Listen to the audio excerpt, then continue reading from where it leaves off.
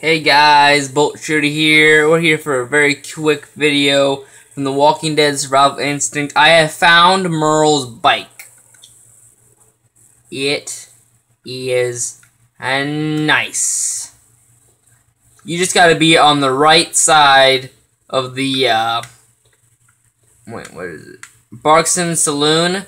This is on the, uh, Barksdale, um, level. This is where you get your crossbow. So right before you enter the barn doors, I mean the saloon doors, you go to the right, you'll get his motorcycle. So I hope you guys liked this video. Hit the thumbs up button if you did, and go to the subscribe, hit that subscribe button if you want to see my future content. And I'll see you guys in the next video. Bye bye.